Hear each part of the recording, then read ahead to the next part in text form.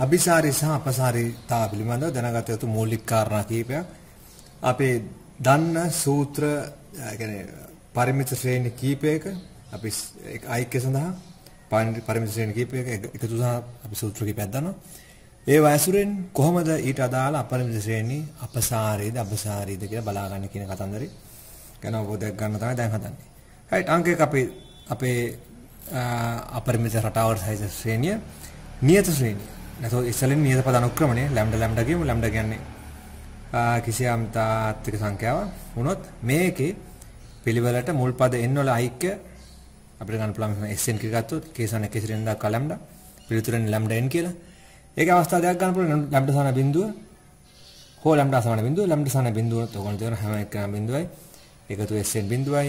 මේ තදාල මේ පරිමිත ශ්‍රේණිය මේ පරිමිත පද අනුක්‍රමය මේකෙන් ලැබෙන අපරිමිත පද අපරිමිත ශ්‍රේණිය තමයි සිග්මා k සමානයි. 190 දක්වා k ලැම්ඩා ප්‍රශ්නේ මේක අபிසාරිත අපසාරිත කියලා? ඔයගොල්ලෝ තේරෙනවා ලැම්ඩා බිඳුනොත් ඔක්කොම බිඳුවයි නැතොත් සිග්මා k සමාන 1 සිට අනන්ත දක්වා ලැම්ඩාගේ බිඳුවයි නැතොත් මෙවට ශ්‍රේණිය අபிසාරිත කියලා ගන්න පුළුවන්. ලැම්ඩා සමාන බිඳුව උනොත් ඔයගොල්ලෝ තේරෙනවා ලැම්ඩා ධන වුණොත් මේක ගන්න පුළුවන් තව අවස්ථා දෙකක්. ලැම්ඩා ධන ලැම්ඩා ඍණ ලැම්ඩා ධන වුණොත් n අනන්ත කරා යනකොට සිග්මා k සමාන 1 සිට අනන්ත දක්වා ලැම්ඩා කියන එක යනවා ධන අනන්ත කරා ඒ වගේ ලැම්ඩා ඍණ වුණොත් ඔයගොල්ලෝ තියෙනවා සිග්මා k සමාන 1 සිට අනන්ත දක්වා ලැම්ඩා යනවා ඍණ අනන්ත කරා එතකොට ලැම්ඩා අසමාන බිඳුව වුණොත් මෙන්න මෙයා අපසාරී ලැම්ඩා සමාන බිඳුනොත් විතරක් අපසාරී එක ඉතින් අලුතෙන් කියන්න දෙයක් නැහැ. හැමදෙස්සෙම බිඳු බිඳු වෙන නිසා. ඊට පස්සේ ඊළඟ එක. 1 2 3 ආදී ලෙස ගණන සංඛ්‍යා වලින් සැදුල්ලා පද අනුක්‍රමණය ඒකෙන් ලැබෙන අපරිමිත ශ්‍රේණිය තමයි k සමාන k සිට අනන්ත දක්වා k කියන ශ්‍රේණිය. ප්‍රශ්නේ මෙයා අபிසාරිත අපසාරිත කියලා ඔයගොල්ලෝ ඉතින් පහසුවෙන් තේරෙනවා. මේකේ මුල් පද එන්න වල එකතු නැතොත් එන්න ඕන.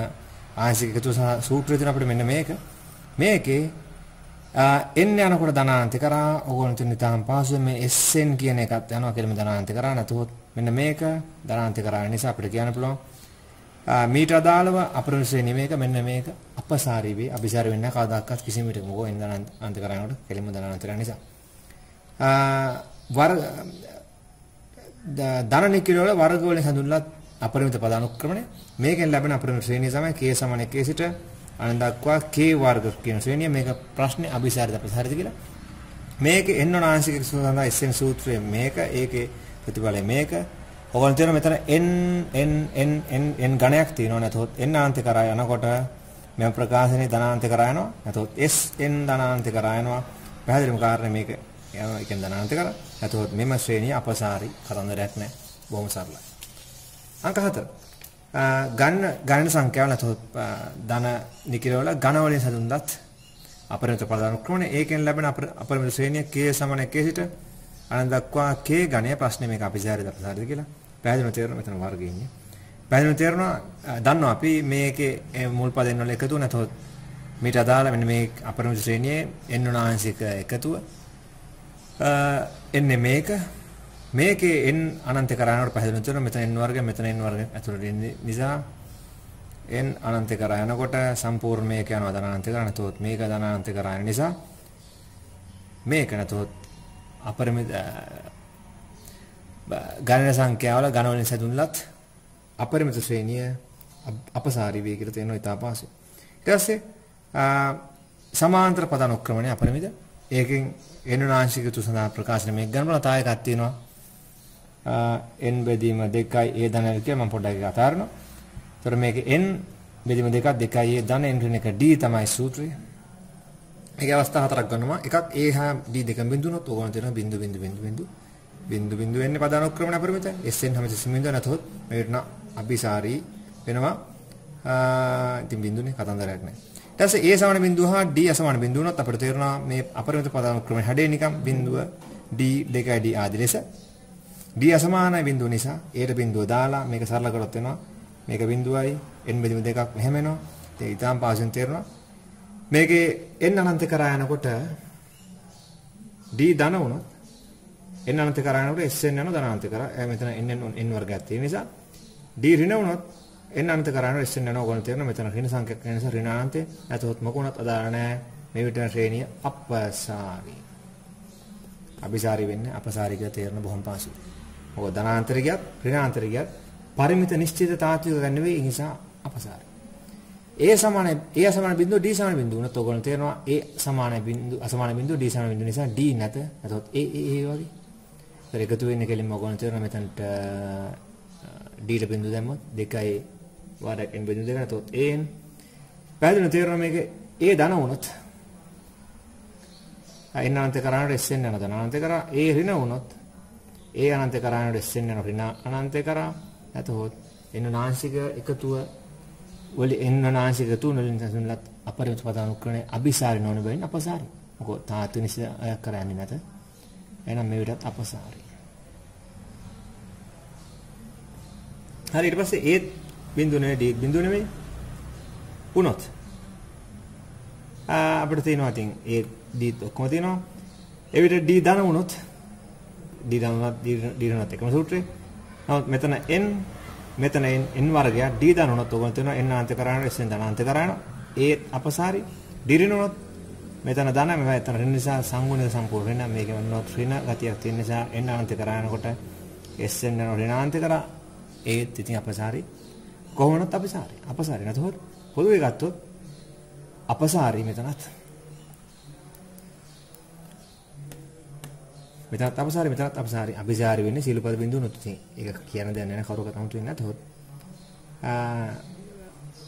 සමාන්තර පද අනුක්‍රමණයෙන් ලැබෙන අපරිමිත සමාන්තර ශ්‍රේණියෙහි සීලපද ශුන්‍ය නෙවෙයි නම් අපසාරි කියලා ඔළුවේ තියාගන්න තමයි ඇති. බොහොම සරල දෙයක්.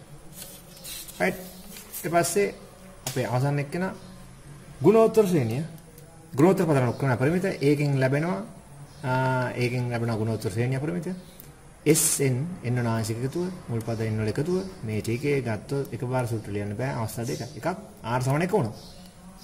එතකොට හැම විශ්සෙම ඒ වගේ එන්න නාසික එකතුව AN එන්නේ අනිවාර්යෙන් මේ ගුණෝත්තර ශ්‍රේණියක් කොහොමද පද ඔක්කොම බිඳු වෙන්න බෑ. ඒ නිසා ඒ සමාන බිඳු වෙන්න ඕන මොකෝ ඉතින් දිගටම බිඳුව පොදු අනුපාතේ කතා කරන්න මොකෝ ඒ බිඳුව උනත් මෙයක් බිඳුව මෙයක් බිඳුව මෙයක් බිඳුවයි. ඒතර බිඳුව බෙදින් බිඳුව අර දක්වන්නේ නැහැ. එතකොට පොදු අනුපාතේ R ගන්න බෑ. ඒකට ප්‍රශ්නයක්. එම නිසා A බිඳුව වෙන්න බෑ. එහෙනම් SN ගන්න AN කියලා. එහෙනම් A ධන අවස්ථාව, ඍණ අවස්ථාව ඒ බිඳුව ගන්න නැහැ. A ධන උනොත් ඔයගොල්ලෝ තියෙන SN යනවා ධනාන්ත කරා. A ඍණ උනොත් යනවා SN ඍණානන්ත කරා N අනන්ත කරා එනකොට. එතකොට මේ අවස්ථාවේදී ගුණෝත්තර ශ්‍රේණිය R සමාන 1 වුණොත් ගුණෝත්තර ශ්‍රේණිය අපසාරි. කියලා ගන්න පුළුවන්. හරි. ආ ඊට පස්සේ ගන්න R විශාලයි. ආර අසමාන එක වුණොත් ගුණෝත්තර ශ්‍රේණියේ මුල් පද n වල එකතුව මේ පද අනුක්‍රමණයෙන් ලැබෙන ගුණෝත්තර ශ්‍රේණියේ මුල් පද n එකතුව n නාංශික එකතුව sn ඔහම ගන්න පුළුවන්. මේකේ අවස්ථා දෙකක් ගන්න මම ආර අසමාන එක හැබැයි ආර විශාල එක ආර කුඩා එක සයිස් එක. මාපන් කියන අදහස ඍණ මේක තේරුම ධන එකට වැඩි සංඛ්‍යා රේඛයන් ගත්තොත් එකට වඩා වැඩි සංඛ්‍යා රේඛ මේ පැත්තට ඍණ එකට වඩා අඩුයි කියන අදහස මේක තේරුම ඉතින් ඔයගොල්ලෝ තේරෙනවා ඍණ 1 ධන 1 අතර කියන අදහසම උතන තියෙන්නේ. හරි. එතකොට R එකට වැඩි වුණොත් මේ SN එක කඩා ගන්න පුළුවන් මෙහෙම ප්‍රශ්නයක් නැහැ කොහොම කරත්. A එක ඍණ R ඍණ A එක ඍණ R වාර RN කියලා කොටස් දෙකකට කැඩුවොත් R එකට වැඩි නිසා n අනන්ත කරා යනකොට ධන ඔයගොල්ලෝ තේරෙනවා මෙන්න මේ කතාව මෙතන එන්නේ නැත. මෙතන විතර එන්නේ R එක වැඩි නිසා එක වැඩි සංඛ්‍යාවක සුවිසල් බලයක් වෙනකොට එන මේක යනවා අපි ගත්තොත් ඒ ධන වුණොත් R එකට වැඩි නිසා මෙතන එන ඍණ ආගියා. මෙතන ධන ආගියා. මේක යනවා සුවිසල් ඍණ අනන්තයක් කරා. ඒ ඍණ වුණොත් මෙතන ඍණ ආගියා R එකට නිසා මෙතන ඍණ ආගියා සමස්ත කෘත්‍ය ධන එන්න අනන්ත කරන මෙතන යන ධන අනන්ත කරා.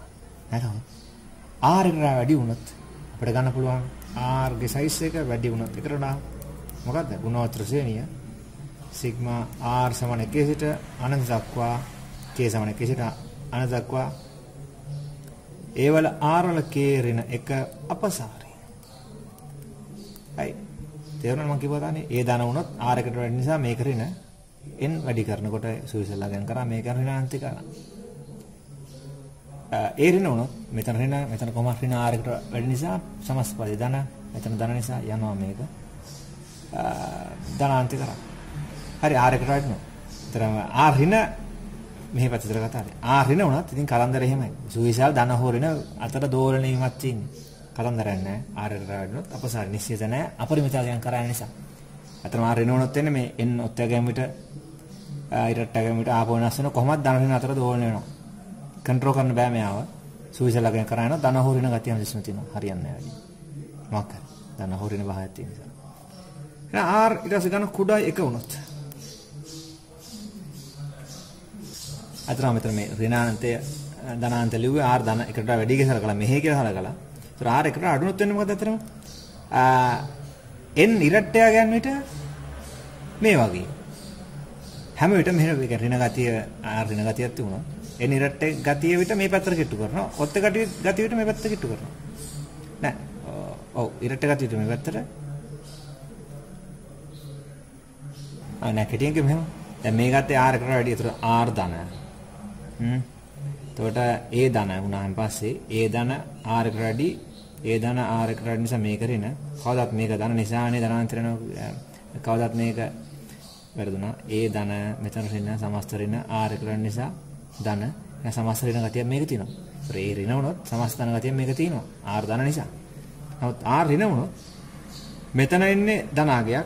ඒ ධන වුණොත් මෙතන ධන. හැබැයි මෙතන ඍණ සංඛ්‍යාවක ඉරට්ටේ ඔත්තේ බලනවා ධන ඍණ පහේ වෙනස් වෙනවා. දැක්ක? නිශ්චිත නැහැ ඒක අනිත් පැත්ත තමයි තේරෙන්නේ උනත් නිශ්චිත නැහැ ඒ ඉතින් ධනාන්ත ඍණාන්ත දෝලණීමක් තියෙන්නේ. අවුල් නිශ්චිත නැති නිසා ඒ නිසා අපසාරය කෙටියෙන්. හරි. R එකට අඩු වුණොත්.